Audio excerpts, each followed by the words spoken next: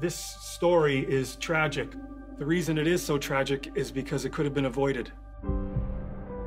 If something can be transmitted sexually, it could also be transmitted by blood, right? Mysterious disease no one knows anything about. The Red Cross says that Canadian blood products are safe. Would you agree with that? I would agree that that is uh, their position. No one likes to hear the word. They say it's fear mongering. Epidemic? Anyone who needed a blood transfusion in the last decade is at risk. Every time he takes a shot, it's like playing Russian roulette, and every day there are more bullets in the gun. What are we gonna tell him? Nothing. We're not going to tell him anything. Peter, where are you going? Peter! Do I have AIDS?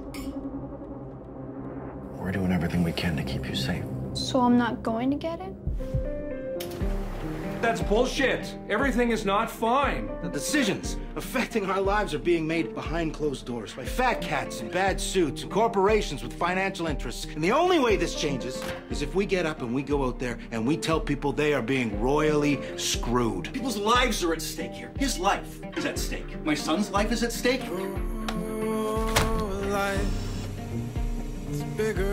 How far would you go to keep your kids safe? How do you people live with yourselves? I'll move out.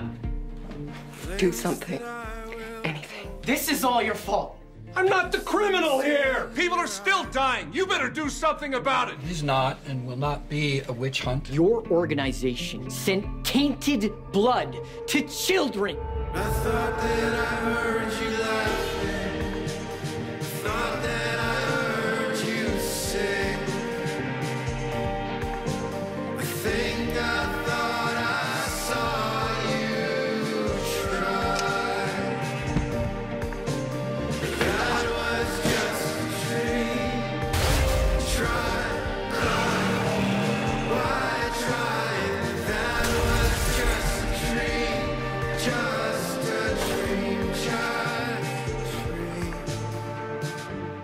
We didn't get AIDS. They gave it to us. They buried my friends. Now they're trying to bury the truth. You think you know the truth? You don't know anything. Based on the true events of the Canadian tainted blood scandal, Unspeakable. The limited series, January on CBC.